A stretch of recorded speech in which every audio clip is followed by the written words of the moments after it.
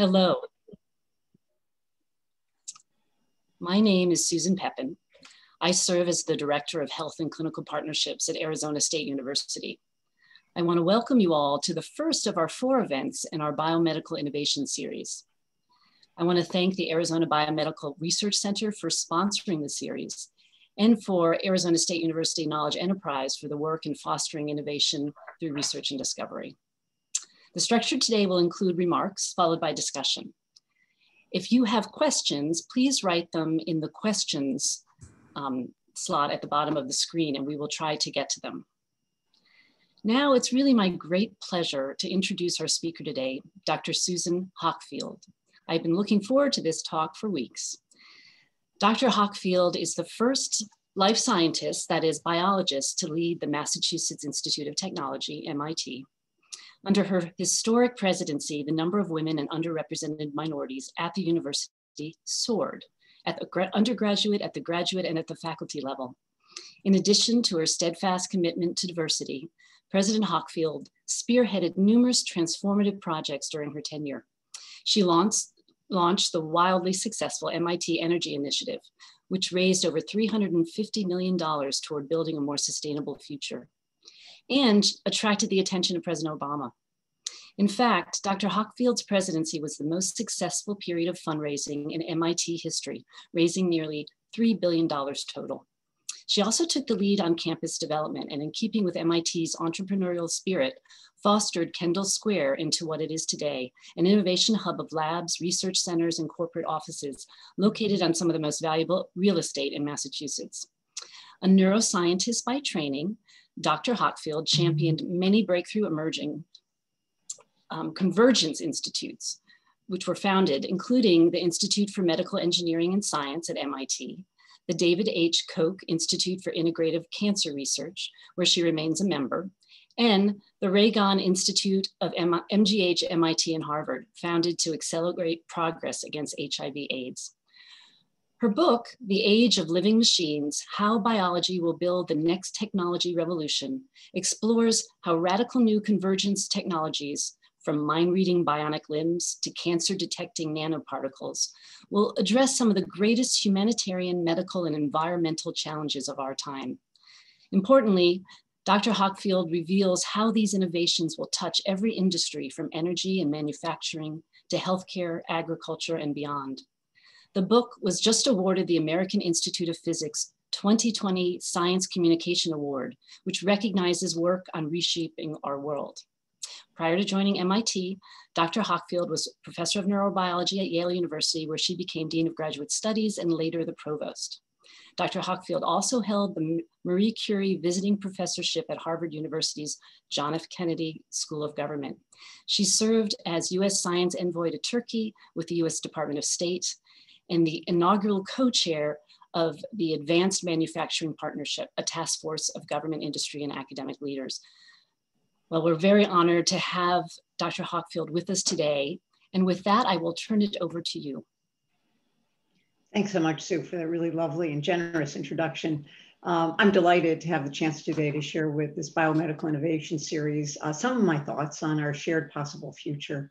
Um, as uh, Sue laid out, I've had the amazing privilege of leading one of the world's great universities.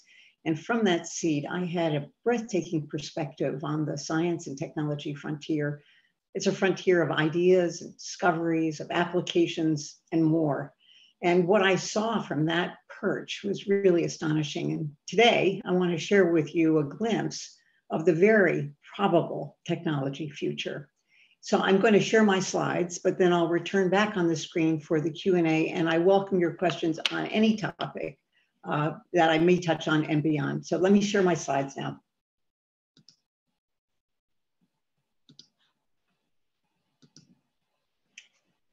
Great. Um, so I hope you can all see the slides.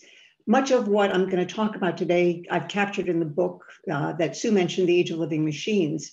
And I would say at the outset that I am really optimistic about our possible future, but unfortunately, I can't say that without also saying that um, I think we probably all agree that right now our future looks a bit bleak. So today I'm going to share both my optimism and my caution because I think both of them need our attention. we face some really serious challenges, um, some of which I've, I've listed here. Um, let me just describe them in a little bit of detail in terms of healthcare access, accuracy, and cost. In the United States, we spend around 18% of GDP on healthcare. And I have to say, while we have some absolutely miracle drugs um, and some new technologies, we really need to do better. We're spending a lot of money for insufficiently good products. Uh, the second topic, the need for sufficient sustainable energy.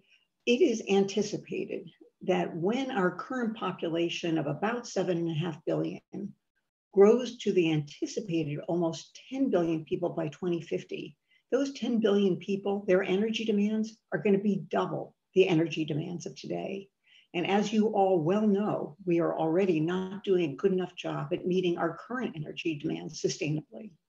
And on the water and food front, my goodness, anyone who reads the news understands that today we don't have enough of either food or clean water. But here's the really scary thing if we're going to only continue to use today's food production technologies, that would require to feed 10 billion people additional farmland equivalent to the entire landmass of both South America and Africa. That is clearly not a viable scenario. So this problem that I've just laid out, the problem of a growing populations, rapidly increasing demand on the planet's resources, it's not a new problem. Many of you have heard this story before. In 1798, the Reverend Thomas Malthus wrote an amazing tract called An Essay on the Principle of Population. And he did a demographic study of Britain and Europe, and he showed many things, but most importantly, that the then current rate of increase in population far outstripped the then rate of growth in agricultural productivity. As he looked at data historically, he realized that over history, there are, there are periods of rising population and then periods of population decline. And what he documented was that those population rises always ended in tears. War, pestilence, famine invariably reduced a very high population to an appropriate level that could be supported by the resources. In 1798, Malthus was sounding a warning cry that they were about to experience the same thing. But at that time, Malthus was wrong. Why was he wrong? Because new technologies saved the day. Four field crop rotation was being implemented, implemented by Britain's farmers, and there was a vibrant trade in a new source of fertilizer that those seafaring pioneers had found in pursuit of the more interesting things they were looking for tobacco, gold, jewels. They came upon islands that were basically piles, piles of bird guano, a very effective fertilizer. So, one of the new technologies of the early 19th century was trade in fertilizer. It produced incredible growth in agricultural productivity, and what followed was an even greater growth in population. But that time, new innovations of the day got that population out of the Malthusian dilemma. So today, we face another Malthusian dilemma. And I suggest that we can get out of the, the problem we're in today with the same solution. We can invent our way out. But how do we chart our course to a better future? How do we defeat Malthus again? Now, I don't know about, know about you, but my crystal ball gets pretty foggy after about five years out, and that's not far enough away. So, as president of MIT, I adopted a different strategy to imagine the future. And here's the way I thought about it if we can understand the future we're living in today and how we got to this future, perhaps we can map a path to the future we'll be living in tomorrow and chart a better course to that future. So, what is the future we're living in today? So if I were with you in person, I'd be waving around my iPhone and ask you, how many of you have one of these?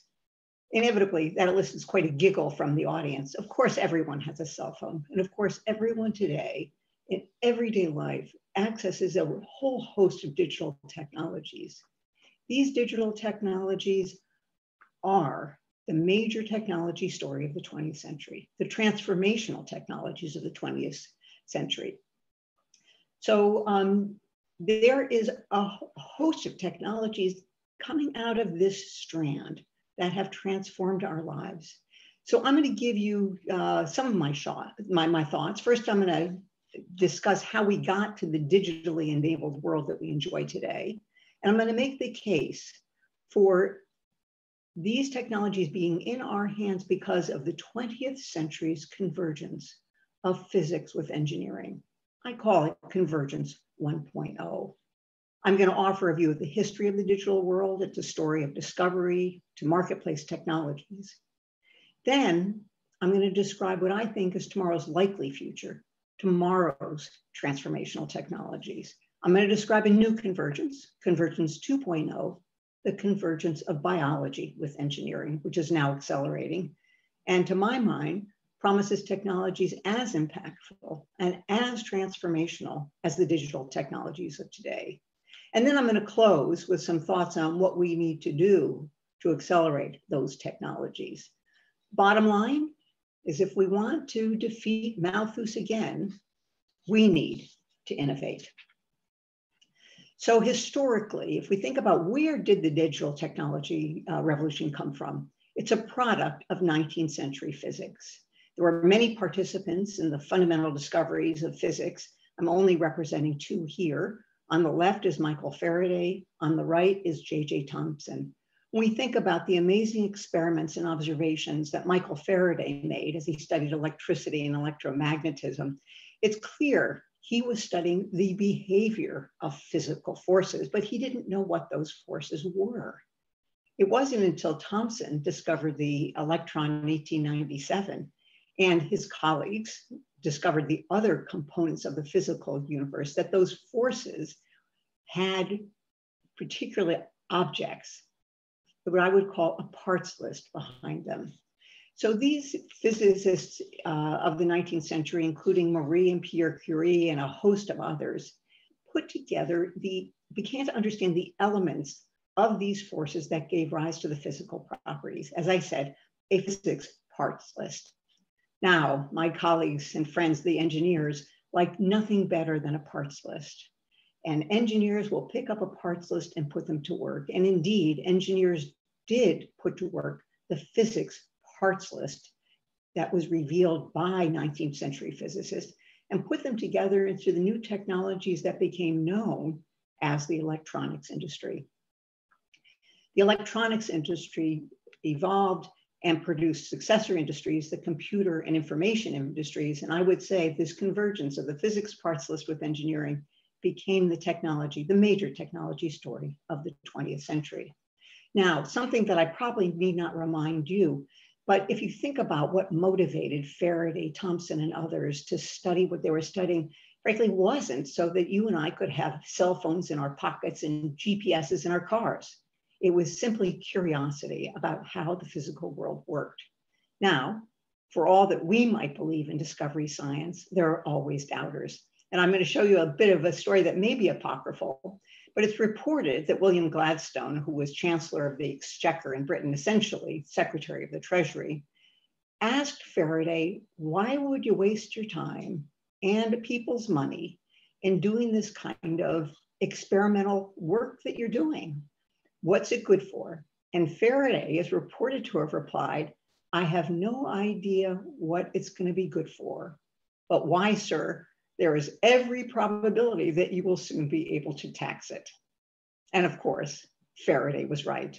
When I bought my new iPhone not so long ago, I did pay some tax on it and tax on every other digital device that benefits my life and yours. So these, I described the electronics industry was coming along at a reasonable pace, but then it was dramatically accelerated and accelerated by the time honored technology catalyst, war. The demands of World War II accelerated the development of electronics and its successors. And as you all probably know, it's the best technology that wins wars. Napoleon recognized this when he repurposed the École Polytechnique in 1805 to be a school that would produce better arms for his battles. During World War II, there were massive investments in research and development that led to technology miracles.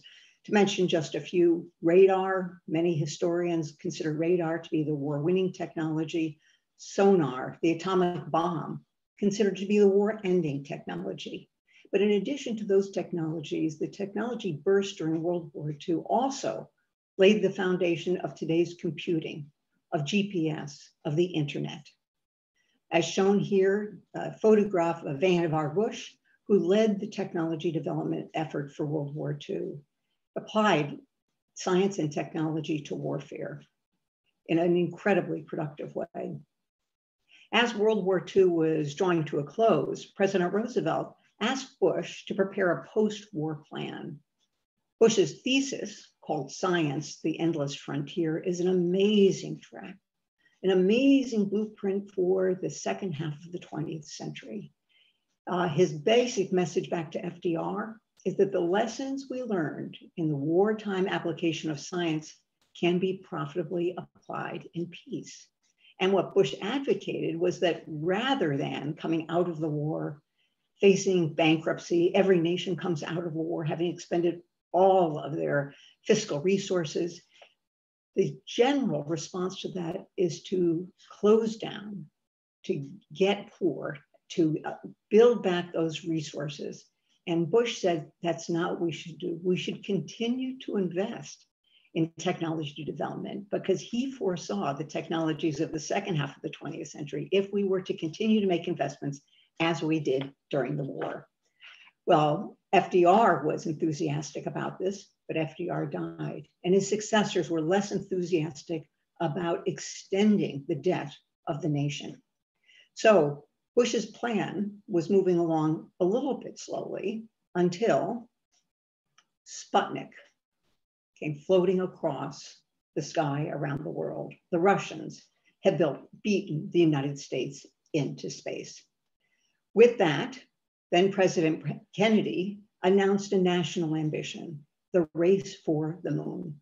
It was a technological impossibility. We didn't have any of the technologies in hand when Kennedy announced this race, but there were many, many benefits of this race. Not only the technologies that came out of it, but the benefit of a national shared ambition.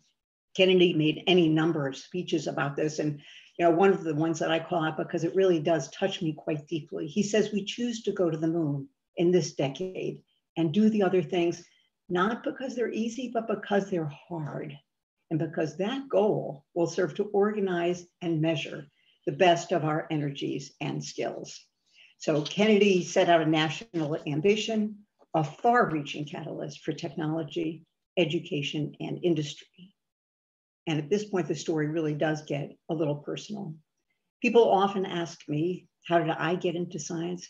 How did I get to the presidency of MIT? And the simple answer is that I grew up under the shadow of Sputnik. But it wasn't a shadow or a fear. It was a bright beacon of inspiration of what science can bring to the world. I grew up with three sisters um, and we had the enormous good fortune to have parents who didn't limit our possibilities, didn't limit our ambitions, telling us that the only boundaries that we faced were boundaries set by our own interest and our own hard work. So um, now to get even more personal, my mother kept uh, much of our schoolwork and uh, pulled something out as I was actually in my final years at Yale. And um, demonstrated my awareness of these things when I was very young.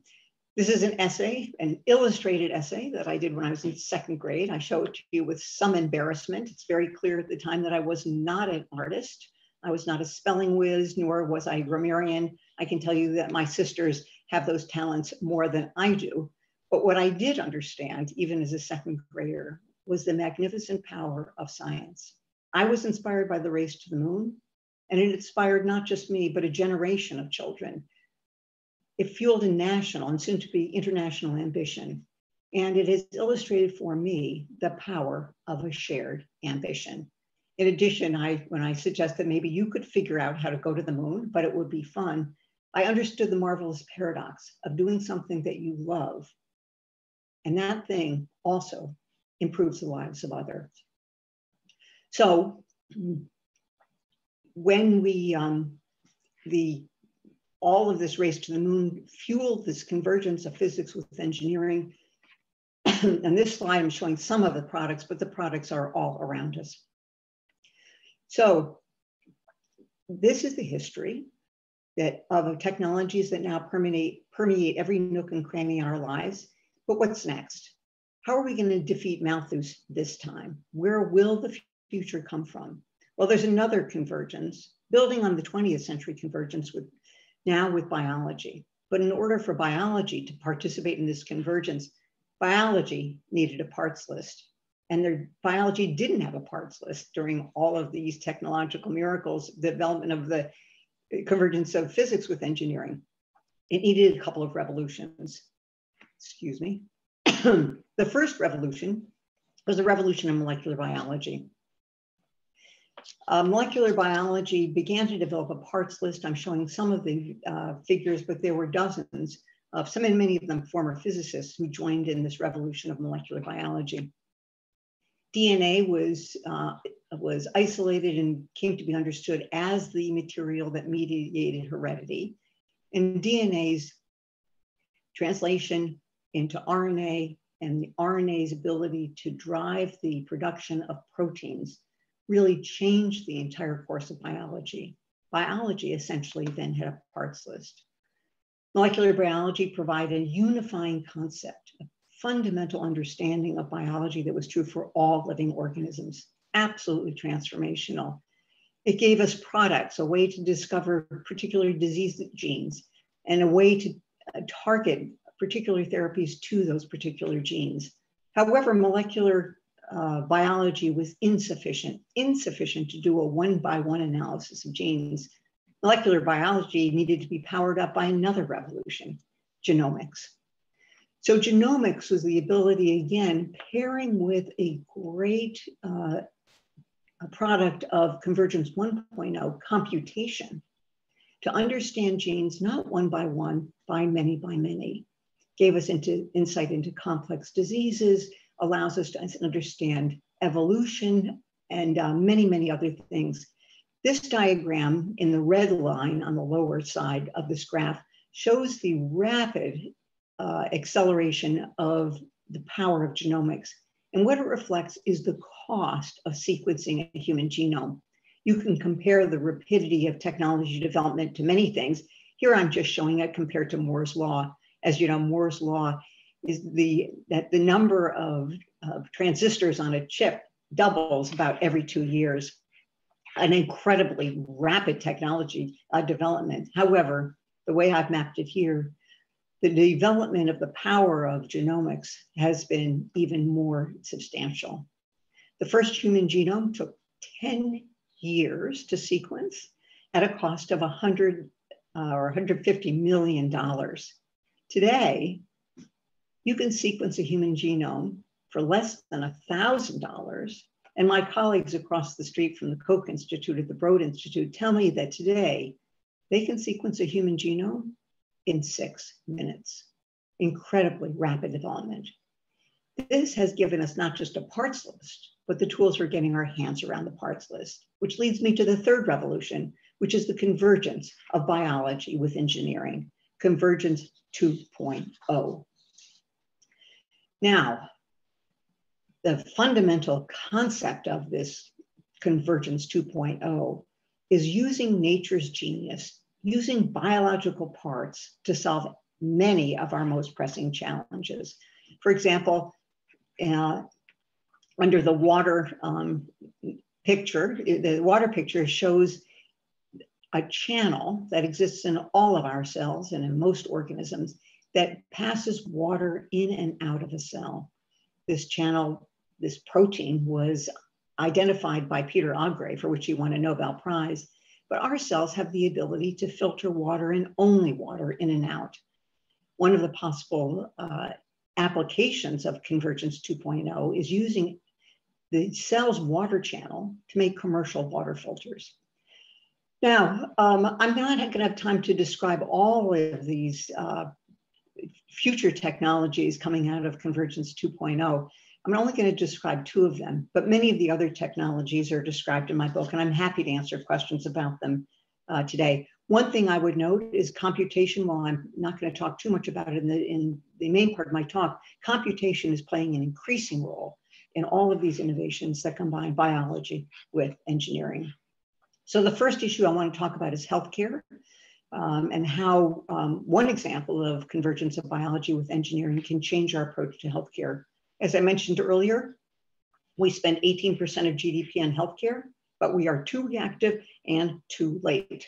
One of my colleagues says we shouldn't call it healthcare, we should call it sick care. And indeed, we're treating people when they're sick, not before they get sick. If we think about cancer, there are nine and a half million cancer deaths worldwide. In the United States, we spend about $175 billion a year treating cancer. Now, we have some amazing ways of approaching this problem right now. However, let's just think about what the best strategy is against cancer. The best strategy is prevention. The reduction in smoking has dramatically reduced death from lung cancer.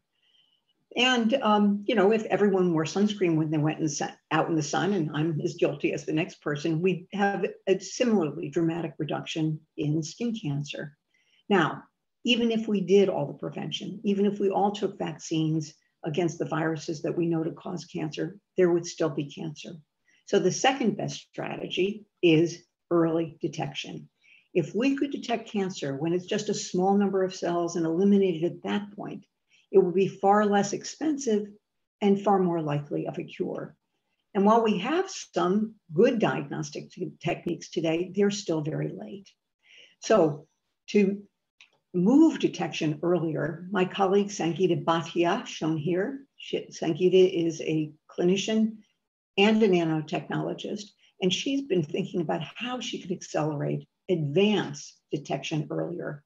How could she make diagnostics that are earlier, more accurate, and frankly, less expensive. And she's come up with an idea of, again, using nature's genius, making synthetic biomarkers.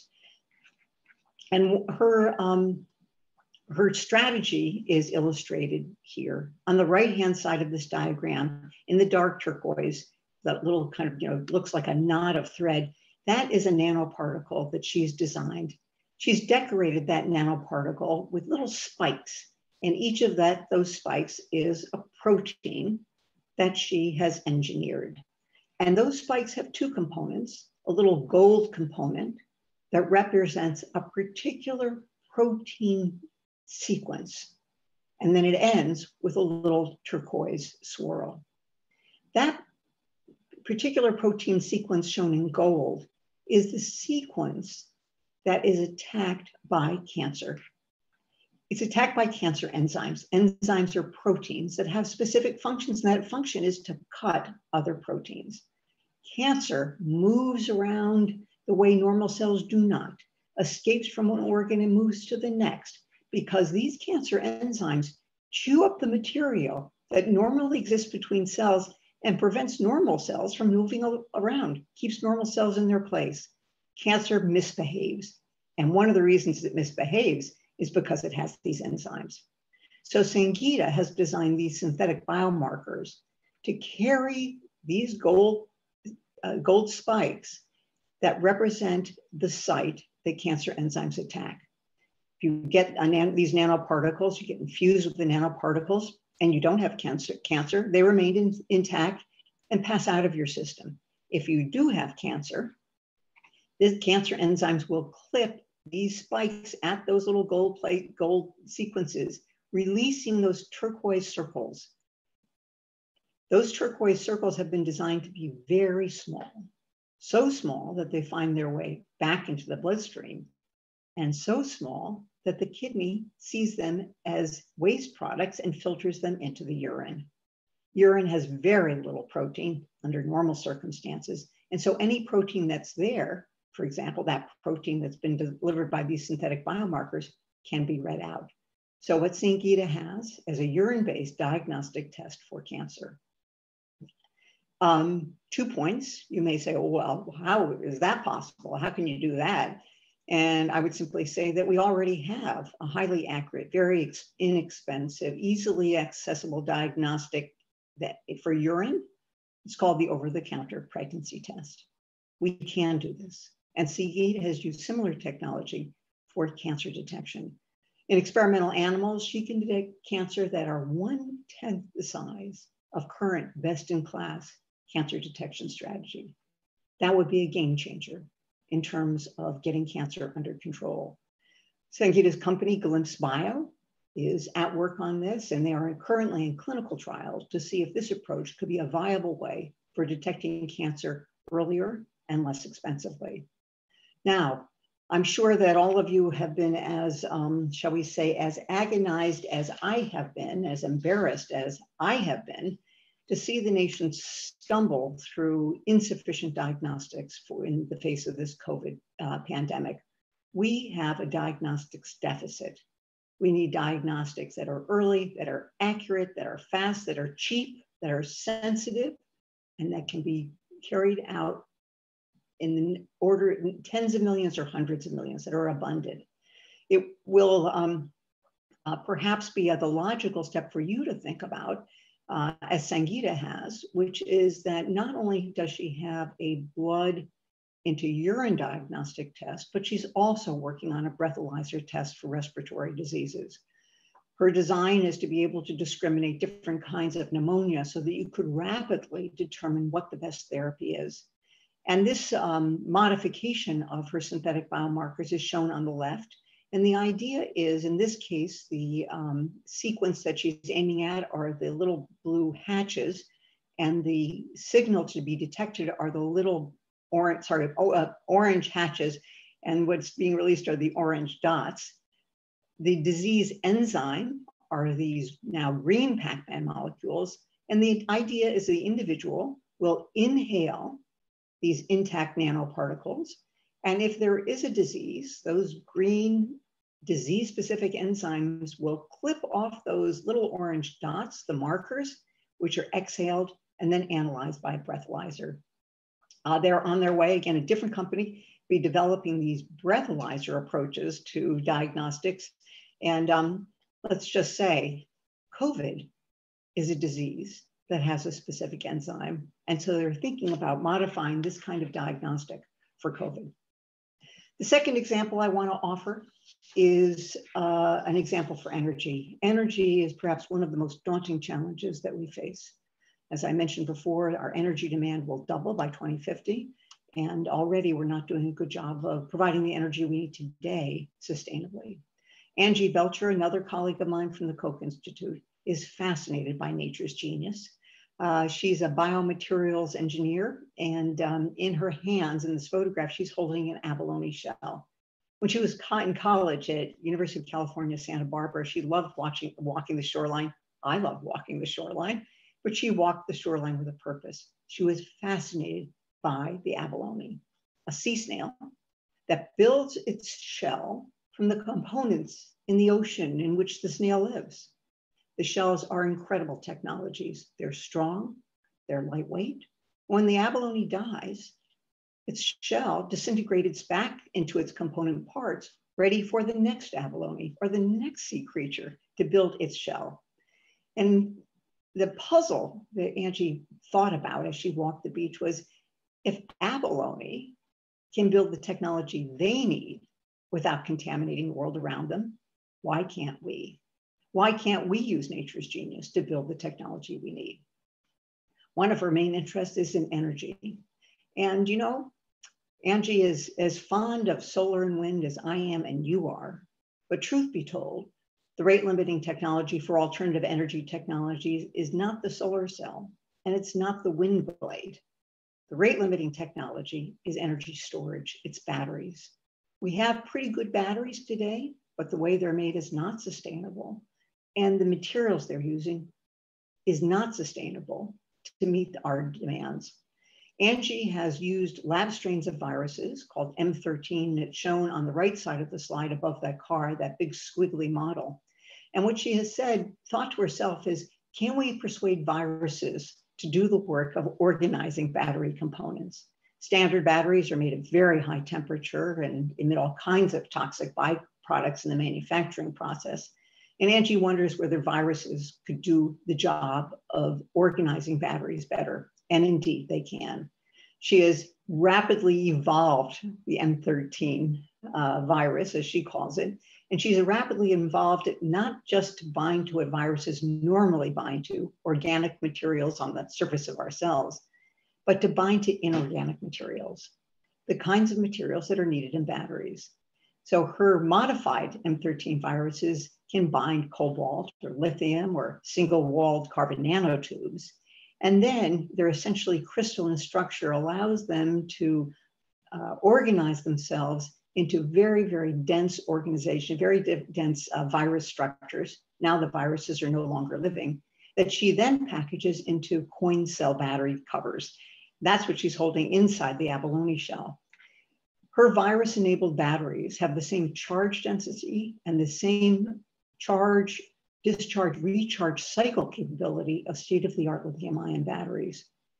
And most importantly, her batteries are made at room temperature without any toxic byproducts. Truly a game changer. Even more importantly, is Angie is now working on batteries that don't use lithium and don't use cobalt. I'm sure many of you have read about the limiting state of those components. So we need better batteries. We need batteries that are made with cleaner technologies. And we need batteries that are as efficient or more efficient than current state of the art uh, technologies. Again, a real game changer using nature's genius uh, to achieve the technologies that we need today. Now, I talked with some facility about bringing biology and engineering together, and it sounds easy, but it's not. It's really hard. There is an innovator's dilemma, as described by Clay Christensen, the late Clay Christensen, um, sadly, um, which simply says if we've got technology that's good enough, it's very hard for new technologies to permeate that field.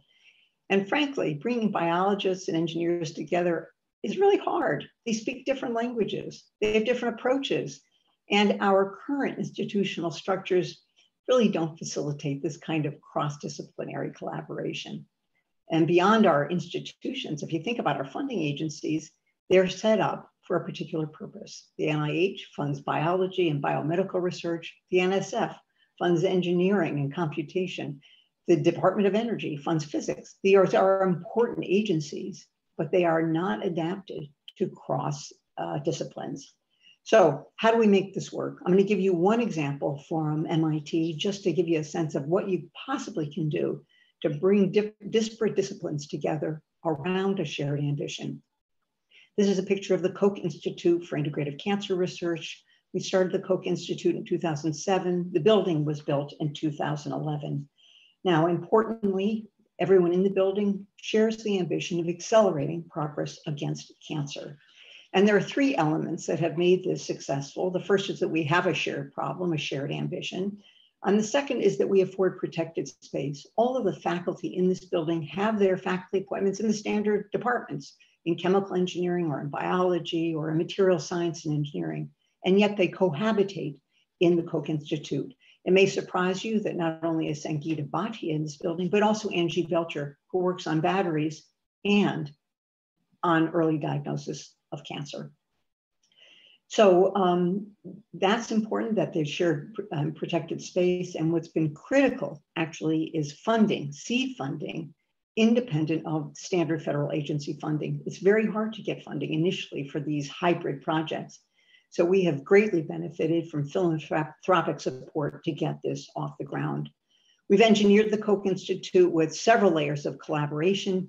Um, the top left shows you the uh, footprint of a standard floor in the Koch Institute. We don't have engineers have a floor and biologists have a floor.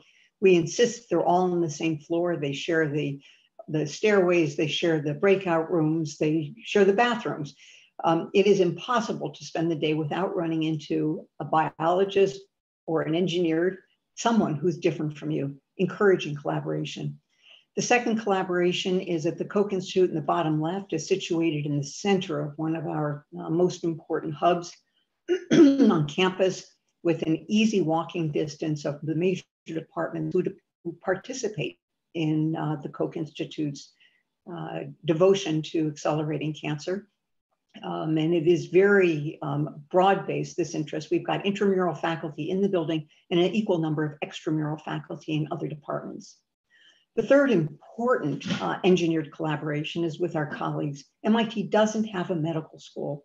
We don't have a hospital, but we have access to among the greatest medical schools in the world and among the greatest academic medical centers or academic hospitals. Um, in this uh, drawing, there's the orange dot for where the Koch Institute is. Off to the right is the location of Mass General Hospital. Down to the bottom left are the Dana-Farber Cancer Institute and the Brigham and Women's Hospital, Children's Hospital of Boston. We have put together something called the Bridge Project to bring clinicians who have real world experience of cancer together with our biologists and engineers so together they can approach cancer. And the bottom uh, right illustrates one of our really great benefits at MIT.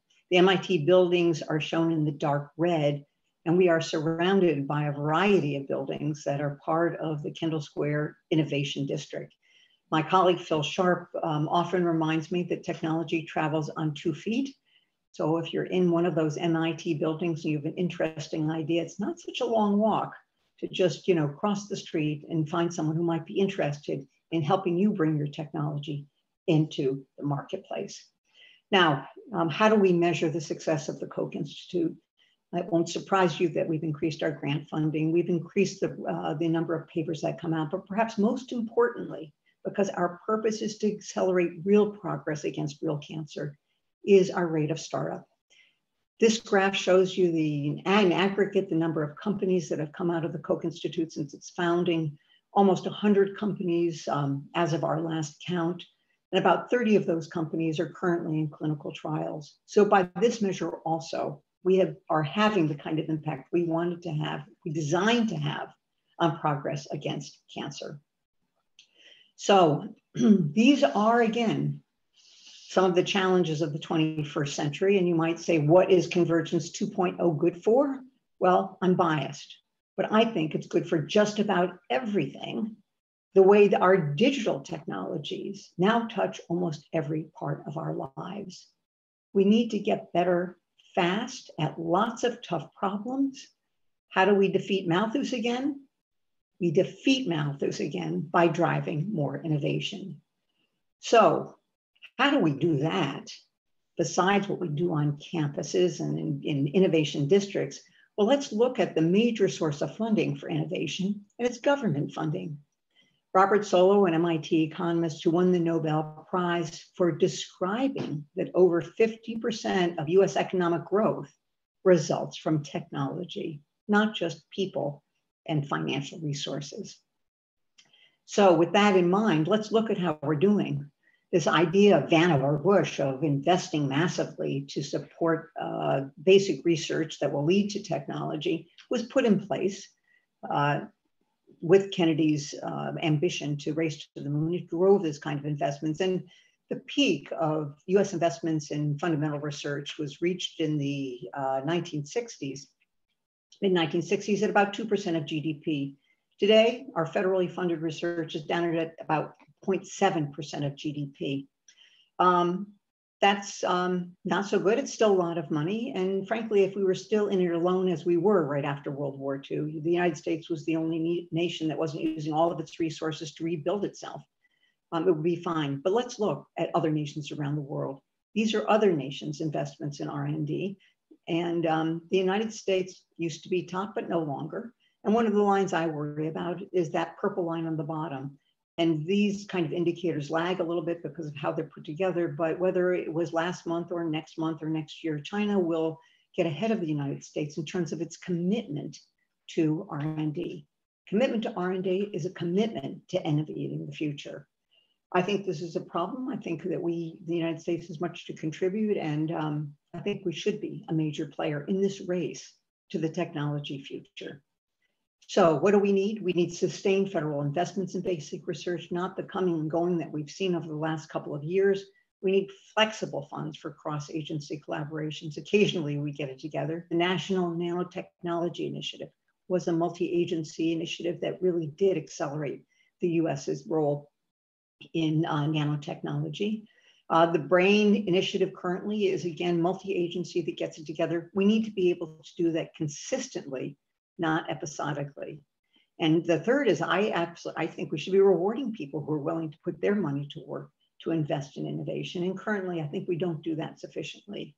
And it may surprise you coming from MIT, where we're well known for collaborating with industry, but I think we can accelerate, all of us can accelerate university industry collaborations to speed technologies out of our labs into the hands of people.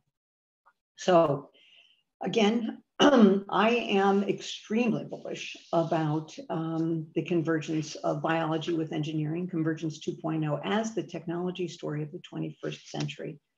I think that um, there is great progress when disciplines converge. I think we can accelerate discovery and the translation of discovery into applications, and we can connect the dots of an innovation enterprise. So um, to me, this is among the most important tools, Convergence 2.0, for defeating Malthus again. And I would be delighted if it could become a national ambition. So let me just close by reminding you about my book, where uh, it goes into more detail and gives more examples of these kinds of things, tells a little bit more about the history of these ideas. Um, and it's a book that I wrote for a general audience. Uh, my goal is that, that for all of you to experience the excitement of a technology revolution. Let me stop there and take uh, whatever questions might have. Well, thank you so much, Susan. Thank you for that wonderful um, overview of defeating Malthus, the history of the revolutions that are re were required, and the convergence of biology and engineering 2.0. I, you know, Helen Keller wrote, alone we can do so little, together we can do so much. And I wanted to follow up on building interdisciplinary collaborations. It can be pretty difficult to convince superstars who can excel independently um, in their research and in academics that there's a strength in coming together. Can you talk to us about how you have successfully persuaded researchers who may already have a crystallized intensity that there is strength in numbers? Yeah, you know, so, so that's a fabulous question. And I have to confess to have been uh, adamantly a solo performer when I was a scientist. So uh, there are a few things that would surprise me more than having become a vocal and constant advocate of the power of coming together. And what I've seen in a number of our um, initiatives is this incredible power of a shared ambition. Uh, certainly in the Koch Institute, I described it. Um, one of the other major initiatives of my presidency was the MIT Energy Initiative that brought together people across all the campus who were really devoted to the idea of helping to change the uh, sustainability equation more rapidly. And here's the thing that uh, you can do your own thing, um, but having partners who share your ambition is a powerful accelerant. It's a powerful accelerant in terms of raising money for sure, but it's a really powerful accelerant in terms of people working hard and getting new insights into how to improve even their work. One of the things that has probably touched my heart most profoundly in both the Energy Initiative and in the Koch Institute and our other cross-disciplinary activities is the passion of the students. Um, they are on fire, not just about the unique things of their own research, but they are enthusiastic about the research going on around them. They feel incredibly proud to be part of a larger ambition. And um, one day I was walking down uh, the Infinite Corridor, of course, just outside my office as president, and I ran, used to talk to whoever I ran to in the corridor, and uh, a lovely man uh, took care of all the bathrooms on the floor that was my office. And I was chatting with him one morning, and he told me how excited he was about the energy initiative. And it shouldn't have surprised me, but it did that to have people affiliated with the Institute, but not doing the work themselves, have a sense of delight and uh, excitement about their role in helping move forward on these really tough things. So, um, as I said, it's exciting to be a solo performer. It's even more exciting to do that work in the context of a, a community of uh, with a shared purpose. And of course, it helps you raise money also when you have the, the, the big lofty ambition you can attract a lot more people to the cause well thank you that's a wonderful example of, re- of remembering all of the various roles people have to play to make efforts successful, universities successful in translation. Um, you, you, gave us two wonderful examples, Dr. Bhatia and Dr. Belcher. Obviously, it's part of the MIT ethos, um, putting ideas into action in order to transform the campus discoveries into marketable products and tools and really solutions. Um, what support does MIT have in place to encourage the development of spin-off corporations and ensure a smooth transition from scientific discovery um, to the marketplace? Yeah, I mean, again, this is something that's easy to talk about and hard to do. One of the things that impressed me when I first got to MIT was the, the, the thesis of MIT's technology licensing, licensing office is not to make a ton of money for MIT. Um, so we get some, I would say a significant amount of money, not vast sums of money from our technology licenses, as do the you know, inventors and the departments. The, but the technology licensing office primary objective is to get the technology out, get it into use. So while of course there's always some back and forth about what a license will actually look like, MIT's uh, technology licensing office has a reputation of being easier to work with, faster to execute. And for me, this is really important. Uh, and so not haggling over the dollars so much as figuring out how to get the technology out and being sure that it can be used. So if you license our technology and you don't use it, it comes back to us. So a number of things like that are important. But beyond that, so how do you become an entrepreneur? It's a different set of skills. So we have a number of activities that um, help bring new participants into the entrepreneurial world. We have something called the Venture Mentoring Service. We have something called the Deshpande Center. And both of these provide mentors and in some cases some resources to take a lab-based idea and move it into a more marketable technology. One of the things, again, that surprised me, um, I have never seen a more eager uh, group of, of, uh, of, of teachers and mentors than entrepreneurs. They're very eager to bring the next generation along if they can find them. And so we provide opportunities uh, to actually do that kind of matching. Um, one of the things that we have noticed, however, is that there's a disparity between the rate at which our women faculty and our men faculty found companies. And uh, uh, to our mind, this is a huge squandering of our resources. Why shouldn't women with great ideas, why shouldn't minorities with great ideas be founding companies at the same rate? So we put together a, a local group of stakeholders in the Future Founders Initiative. It includes venture capitalists, includes the technology licensing officers, um, a number of organizations, faculty, um, and uh, we have are mapping a way to actually increase the participation of um, uh, women and minorities in this enterprise, we need every person, every idea to get to the marketplace that's viable, and you know, to see if it's viable, if we're going to address these problems with the rapidity that we need to. Thank you. And please, in, in our, of our participants, please um, put your questions in the uh, question and answer on the, on the Zoom. Um, wanted to switch or, or, shift a little bit. Artificial intelligence and machine learning are really being deployed more widely in real world clinical practice. Where do you see the revolutions in their role in healthcare? Yeah, this is an incredible opportunity. And in the book, I talk about uh, computational approaches to improving agricultural productivity um, a very, very tough problem where computation is already playing an important role in ways I had no idea before I started working on the on, on a chapter. I knew I had to work on uh, describe something about food, but in the healthcare domain, um, it seems like you know every time I turn around, there's someone using AI approaches. Um, among um, let's just say a few that have kind of caught my eye. Again, required collaboration because even our brilliant computer scientists at MIT don't understand what the clinical problem is. They can imagine what it is, but you waste a lot of time that you can save if you actually get together with someone who's challenged with that problem.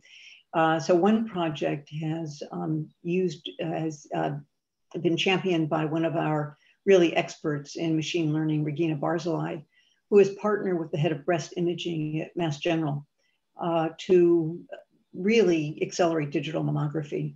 They now have a paradigm that's actually being used in the mammography unit that is predictive. Uh, so it is much better at predicting whether the fuzz on a mammogram is likely to become cancer or not. And this is a problem for radiologists, a huge problem for radiologists. They're helping to screen the backlog of patients who missed their mammograms because of COVID into those who are most likely to need it right away. So they actually are, are prioritizing patients' reentry into mammography based on this, this algorithm. Very, very powerful. Another use, again, uh, with beginning with Jim Collins, is exploring the treasure trove of drugs that we already have in hand for new diseases. And uh, with this approach, they've identified an entirely new class of antibiotics that will be very effective, we hope, against diseases that um, have been refractory to current antibiotics. And the third I would point out is a fantastic project by Dina Katabi. Um, I don't know if you've had her sleep test. I, I haven't, but I've watched them where you're just all wired up and you look at these buildings and say, well, how can you sleep once you've got all these contraptions on you? So Dina has a way of measuring disturbances to microwave radiation, which are all around us, to actually be able to see not just where people are, but the position they're in. She can detect heartbeat and breathing rate. And she can detect falls. And it's a very interesting way of moving these kinds of what are currently quite invasive technologies to technologies where you're not even aware that you're being monitored. So that also, I think, has enormous potential for um, uh, watching patients who are at risk um, without burdening them with a whole bunch of uh, you know stuff that they have to wear every day. So those are just a few examples, but um, you know, I, I always know as soon as I say that uh, I'm probably, you know, that there's something else marvelous coming up, along, which has married computer science uh, with, um, you know, medical or scientific expertise to really change the game. I think this is going to be huge. You brought up risk. I'd like to talk briefly about risk and regulation. Entrepreneurs, be they from the academy, industry, or both, often create because they can, sometimes without considering whether they should. How do we know what could result in bad consequences and what regulating what we can or could be created. Are we doing that well? Yeah, so this is a time, sadly, of really great fear. Um, I would simply start by saying that technology by itself is agnostic. It's not that technology is bad, but how the technology used can be used for ill and not for good. And we need to, as a community, develop parameters um, unfortunately, we can develop parameters as scientists, practitioners that um, the whole population won't have confidence in because their confidence in science has been eroded. However, one of the examples that I always that's always called to my mind is the Asilomar conference uh, that was put together just when gene engineering became possible. And um, there was a lot of fear that we were going to get Franken everything, Franken food, Franken medicine that would be somehow a safe, safe our control. And there were a number of uh, the leaders in the new uh, practice of gene engineering came together at a conference at Asilomar and set up guardrails and said, you know, we can do these things that we know we can control, and no one's allowed to do the other kinds of things. And it was amazingly effective. I mean, uh, it's surprising how effective it was at constraining people working beyond the box where we had confidence we could be safe.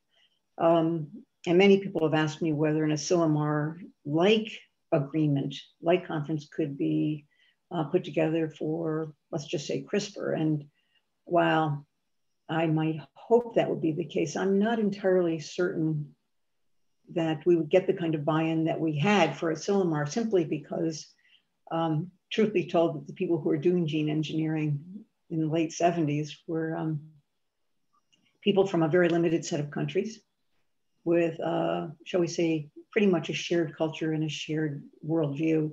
That's no longer the case. And so uh, I, I, do worry about national agreements. If you think about simply our um, nuclear weapon agreements that are being eroded, the inability to sustain the constraints on Iran's progress toward a nuclear weapon, um, you know, it, it takes a lot of different participants in order to develop international standards. And it's something I really worry about I don't think that the answer is to constrain the development of technologies, but um, we have to really be serious about how, as communities of interest, uh, we set standards for one another.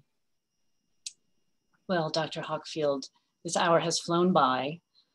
Um, I want to thank you for your time and, and your effort spending with Arizona State University. So on behalf of Arizona State University and the Arizona Biomedical Research Council, thank you for being with us Thank you to the participants Uh, we did record this session, so it will be available um, to those that want to review it or weren't able to make it. And again, wishing you the best, Dr. Hockfield, and, and stay well. Dr. Pepin, thank you very much for hosting this conference and thanks for including me. Bye-bye.